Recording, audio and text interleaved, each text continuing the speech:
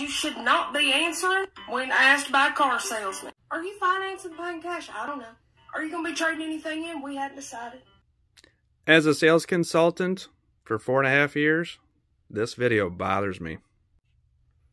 The advice isn't bad. Stay guarded, give information when necessary, so you can be on top. The way that she's displaying this information makes us sales guys out to be the bad guy.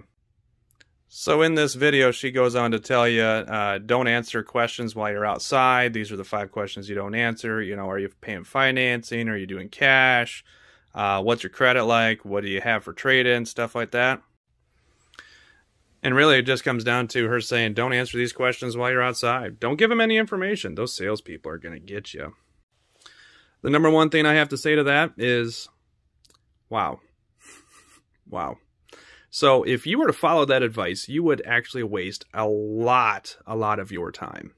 Again, I can't speak for every sales guy out there, but my goal is to make sure that I help you get what you need in the shortest amount of time possible. Who the heck wants to spend more time at a dealership than they need to? The key to this specifically is if you're transparent with me, it's going to make it so much faster. As a salesperson, I'm already set up to have to be transparent. We have to provide repair orders, Carfaxes. We have to provide the information on the vehicle before you make your visit. If we don't do that, if we don't earn your trust, we don't get your business. Again, I can't speak for all car sales representatives out there. There are some pretty shady ones out there. Not talking about them. If you go to a place in which that person on the other phone with the car in their inventory is making sure that you understand everything about this vehicle before you make your visit, you might have a winner somebody that actually cares about taking care of you.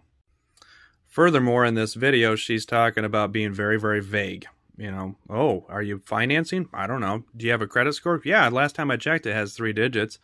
If you play these kind of games, it's just going to make it way, way worse. We need to find out that information if you want to actually make a purchase on a vehicle, not play games.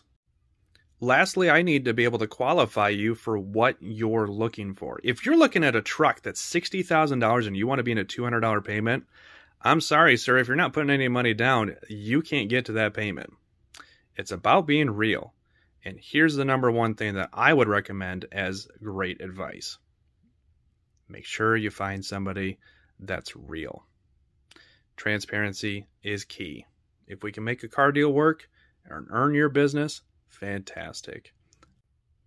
The key is, with car sales, it's all on the table anymore. By all means, feel free to be guarded, but be prepared to answer some questions if you want to save the most time and get the best deal.